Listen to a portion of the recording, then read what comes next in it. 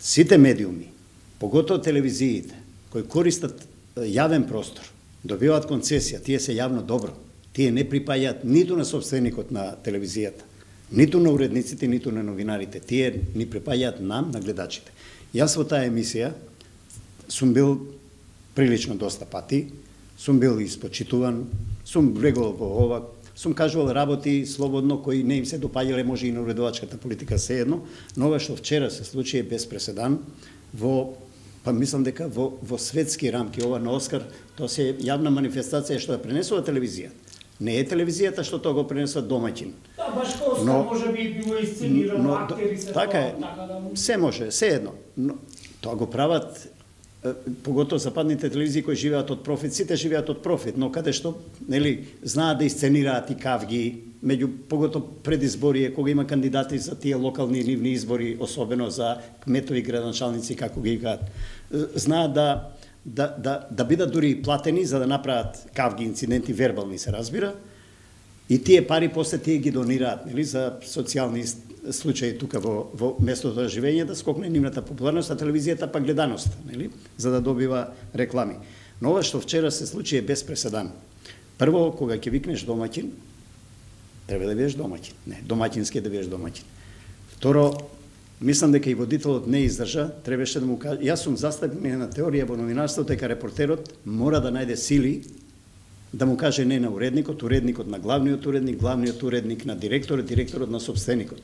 Значи, мора тоа да функционира ако сакаме самостојно, слобода и демократија во медиумите. Ова што вчера го направија, се надевам дека е гаф, мислам дека е последица на на малку, сега неформално ќе се изразам, на занес од моќ. Нели? Тоа го прават и министри, некогаш ќе се занесуваат, па јас сум сега, се знам, нели? Така и директорот актуелен на, на канал Пелнети. Не сакам, во принцип, јас не сакам да верувам на теории на заговор, што го спомна, дали има некоја политичка ваква или онаква предизборна позадина, ако добро го разбрав Љубомир, се е можно. Не можам да знам. Го коментирам она што го гледам. И второ, мислам дека Мирчевски го навреди и својот водител. Јас тоа го напиша во таа реченица.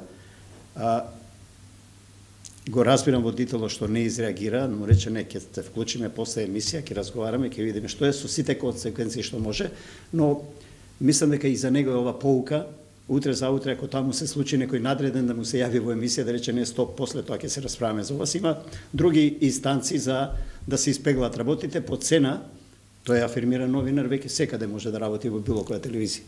Не, не спорно, мислам, вратите му се отворени, он е, колку што јас можам да го оценам, и доста принципелен. Ова што Мирчевски да го направи, не знам што му се случи на човекот, но таа ароганција, мислам, доаѓа од, од не се случајни мандатите од 2 до 4 години за некој работи, тоа и во политиката е така. Човек се, малку се заситува, малку се занесува, телевизијата е моќна алатка, студиото е моќа, моќна платформа, микрофонот е оружје, и ти да упаднеш така у телевизија, прво, сакам да бидам до крај пресизен, Исмет Рамадани, со кого сум бил и во емисија, го знам и одамна, од повеќе од вака, од, од телевизија, од јавни настапи, секојаш бил пристоен, умерен, цивилизиран наставник, професор, нели, директор бил на, на гимназија вчера прв пат дознава.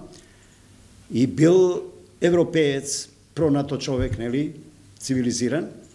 Може би во еден момент направи по мене лапсус, бидејќи јас не ја гледав директно емисијата, на после ја вратив да видам што е галамата, нели?